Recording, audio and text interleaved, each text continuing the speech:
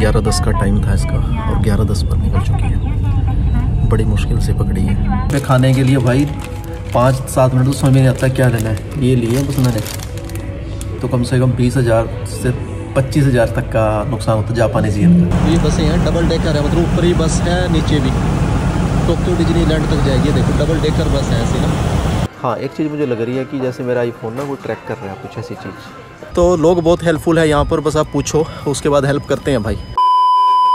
दोस्तों, ग्यारह दस का टाइम था इसका, और ग्यारह दस पर निकल चुकी है। बड़ी मुश्किल से पकड़ी है। तो इसकी जो स्टोरी है, वो आगे जाकर मैं बताऊँगा बट सीट वगैरह बहुत कंफर्ट है, मैं अकेला हूँ। इधर भी सीट है, खाली पड़ी हुई है। बट जो स्टोरी है पूरी आगे किसी टॉपिक पर कर बताऊँगा। बड़ी मुश्किल से पकड़ा भाग भाग के भाई सीरियसली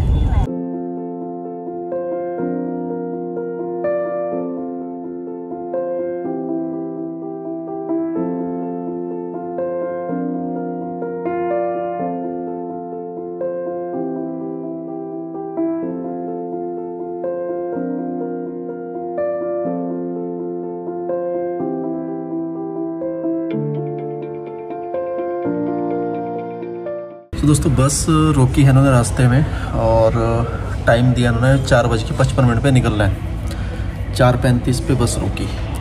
आई थिंक पाँच मिनट पहले रोकी होगी, लेकिन पता ही बाद में चला कि बस रुकी हुई है। तो चार तरतालीस हो रहे हैं, बारह मिनट हैं अभी। स्टोरी ये थी पिछली, वो बताऊँगा, लेकिन यहाँ पे खाने के लिए भाई पाँच सात मिनट तो समझ में नहीं आता क्या लेना है। ये लिए बस मैंने। उसका रीज़न ये है कि इनको इंग्लिश नहीं आती बिल्कुल भी ना।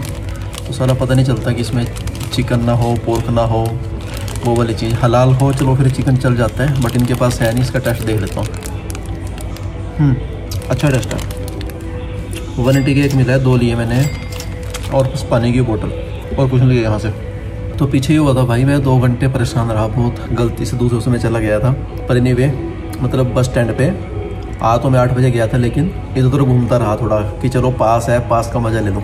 और गलती से दूसरी बस में चला गया, फिर बहुत परेशानी हुई। तो बड़ी मुश्किल से बस पकड़ी पूरे पूरे टाइम पे। पर होता है, चलो चैलेंजेस आते हैं, लेकिन ये थी प्रॉब्लम कि लास्ट बस थी। और अगर ये निकल जाती, फिर प्रॉब्लम होती, फिर मुझे दोबारा हॉस्टल या होटल बुक करना पड़ता और वो बहुत एक्सपेंसिव होता है एकदम से करना फिर अगले दिन ये भी करनी पड़ती तो कम से कम बीस हज़ार से पच्चीस हज़ार तक का नुकसान होता जापानी जीन का। चलो अच्छा रहा मिल गई टाइम से। तो अभी जा रहा हूँ हकोने। सुबह के पाँच बजने वाले हैं। चार घंटे बाद टोक्यो पहुँचूँगा नौ बजे के आसपास। उसके बाद आगे के देखते हैं फिर।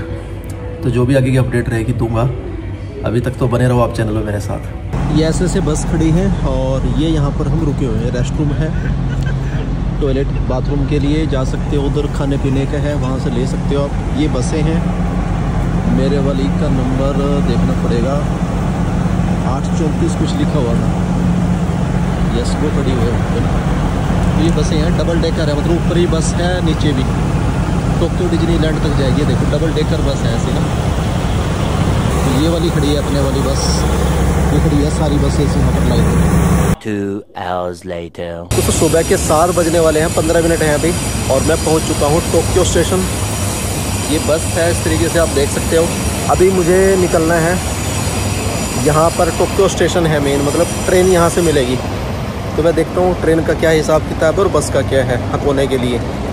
दैन उसके बाद फाइनल करता हूँ नेक्स्ट अभी के अभी। अगले दस पंद्रह मिनट में फाइनल कर दूँगा। सो ये है टोक्यो स्टेशन जहाँ पर बस स्टॉप है।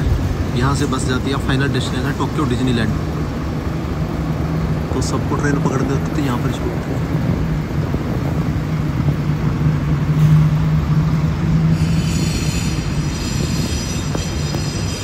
है J R J R Tokyo.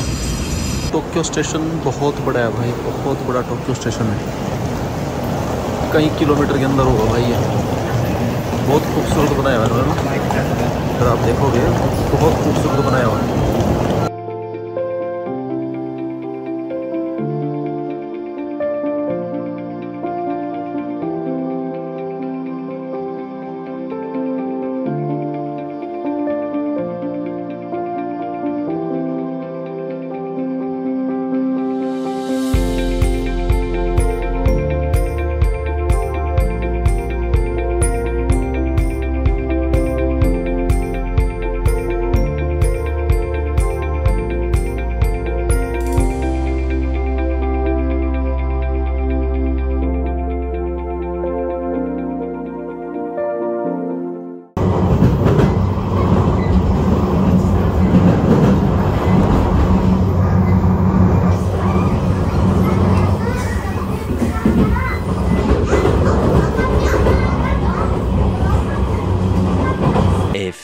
Moments later. दोस्तों, मैं पहुँच चुका हूँ हकोने, नहीं पहुँचा अभी उससे पहले ओदावरा स्टेशन है। ओदावरा स्टेशन पर हूँ और शिंजुकू से यहाँ पर आया था। टोक्यो से शिंजुकू शिंजुकू से ओदावरा। तो बाकी की स्टोरी अभी शेयर करूँगा, लेकिन उससे पहले आपको दिखा देता हूँ ये वाला स्टेशन और आगे की चीज़ें जो है वो भी शेयर करता हूँ। ये ट्रेन है जिससे मैं आया हूँ अभी। काफ़ी चीज़ें अभी एक्सप्लेन करनी है तो आगे पहुँच कर करता हूँ। डेस्टिनेशन के आसपास अपने। Few moments later. दोस्तों, भूख लगी हुई थी मुझे और खाने के लिए बैठा हूँ। बेक कॉफ़ी के नाम से शॉप है। ये आप देख सकते हो कॉफ़ी और ये है बिल 900 जापानी येन और एक एक केक लिए हैं। लेकिन इनका ब्रेकफास्ट का सेट भी है, उसके अंदर दो तीन चीज़ें हैं, लेकिन मुझे उतनी अच्छी नहीं लगी। तो कैरेमल लैटे मैंने लिए हैं और उसके बाद यहाँ से निकलना है। बस भी है, बस का टिकट आई थिंक 600 जापानी येन का है। और जो ट्रेन का टिकट है, ट्रेन का टिकट साढ़े तीन सौ और एक 420 ये 460 येन का है शायद। उदावरा से अब जो मेरा स्टेशन है आगे हकोने का वहाँ तक का। तो भी मैं प्लान कर रहा हूँ कि ट्रेन से ही जाऊँगा, इधर से भी। उधर से जाऊँगा, उधर से बस, एक रोमांटिक ट्रेन वाला है, उसका पता करूँगा पहले क्या है, देखूँगा, उसके रिव्यू फिर उसके अपडेट करूँगा। लेकिन अभी देखता हूँ पहले ये वाला जो सफ़र था ओवरऑल काफ़ी अच्छा रहा टोक्यो तक का भी काफ़ी अच्छा रहा, और यहाँ तक का भी। कोई इशू नहीं है मुझे किसी भी चीज़ का। और अभी आगे पहुँच के फिर मैं जो भी अपडेट है उसकी वो करता हूँ। हाँ एक चीज़ मुझे लग रही है कि जैसे मेरा आईफोन ना वो ट्रैक कर रहा है कुछ ऐसी चीज़। तो उसका मैं अलग से वीडियो बनाना सोच रहा हूँ ताकि डिटेल्स में बता भी पाऊँ। तो नेक्स्ट वीडियो का वेट करना और इसका मैं अभी जो व्यू है ना, बहुत अवसम व्यू है जो आपको देखने को मिलेगा। जो दोस्त, अभी तक वीडियो में बने हुए हैं, वो कमेंट करके बताना कि आप वीडियो में अब तक हो मेरे साथ में, ताकि मुझे पता चले कितने लोगों ने वीडियो कंप्लीट देखा है। और फिर जो व्यू आने वाला है, उसको डेफिनेटली आपने ज़रूर देखना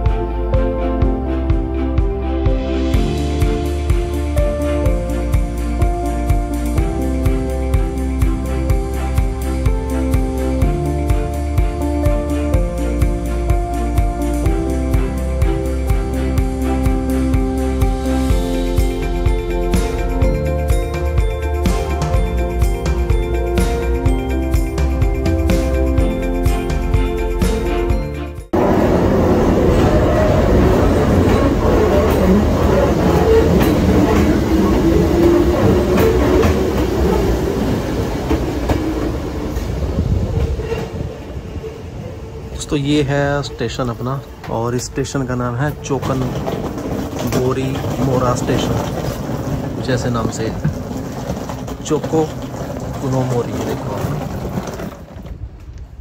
सो so फाइनली हम यहाँ पर जो है वो पहुँच चुके हैं। A few inches later. दोस्तों फाइनली मैं पहुँच चुका हूँ अपने हॉस्टल के पास और ये जो स्टेशन है स्टेशन से सिर्फ़ थ्री मिनट का डिफरेंस है ओनली टू हंड्रेड मीटर्स है। ये मैंने इसलिए लिया यहाँ पर लोकेशन बिकॉज़ बहुत प्यारी है इसकी ना।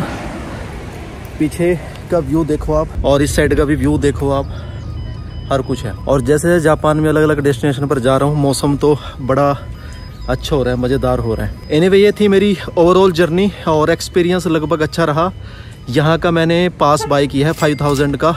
उसका फ़ायदा मुझे है कि सारे यहाँ पर मैं कहीं पर भी घूम सकता हूँ एक दिन या दो दिन के लिए। पहले मैंने टिकट ले लिया था थ्री सिक्सटी जापानीज यन का। फिर जब मैंने पास के बारे में पूछा तो पास मुझे अच्छा लगा, फिर मैंने पूछा, इस टिकट क्या होगा? फिर उन्हें वो रिफ़ंड का ऑप्शन रहता है वहाँ पे। मेरे साथ में जाके रिफ़ंड भी मुझे दिलवा दिया थ्री सिक्सटी जापानीज यन भी तो लोग बहुत हेल्पफुल है यहाँ पर, बस आप पूछो, उसके बाद हेल्प करते हैं भाई। 90 परसेंट आपको लोग ऐसे मिलेंगे जो जिन, जो एकदम से हेल्प करेंगे। जिसको नहीं पता वो बोल देगा या फिर जापान का नहीं होगा, वो बात ही नहीं करेगा। बट ओवरऑल एक्सपीरियंस बहुत अच्छा रहा अब तक का, बस का, सारी चीज़ों का। 11 बजे मैं शाम को चला था। ग्यारह बज के दस मिनट पर क्योटो से। सुबह सात बजे के आसपास उतारते थे टोक्यो। अभी साढ़े ग्यारह हो रहे हैं। तो मेरी जर्नी रही है साढ़े बारह घंटे की। ग्यारह सैंतीस हो रहे हैं अभी। ग्यारह चालीस तक पहुँच चुके मैं अपने हॉस्टल। ओवरऑल अच्छा एक्सपीरियंस रहा। आई होप काफ़ी क्वेश्चंस के आंसर आपको मिल गए होंगे इस वीडियो से। फिर भी कोई और क्वेश्चन आपका रह गया हो तो प्लीज़ कमेंट करके डेफिनेटली ज़रूर बताइए। कुछ सजेशन हो मेरे लिए, वो भी ज़रूर बताइएगा। चैनल पर नए हैं, पहली बार है चैनल को सब्सक्राइब करके बेल नोटिफिकेशन ज़रूर ऑन कर लेना।